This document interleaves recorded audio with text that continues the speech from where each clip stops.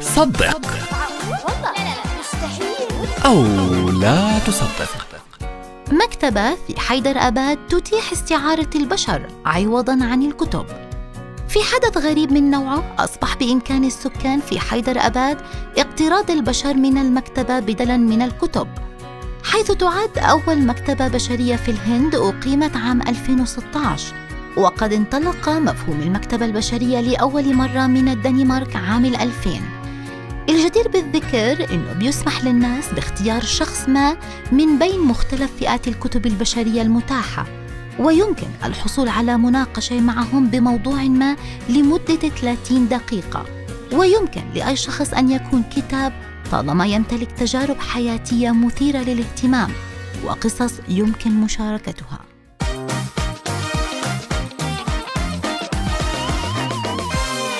ما تنسوا تعملوا like share subscribe وتشغلوا جرس التنبيهات لمزاج FM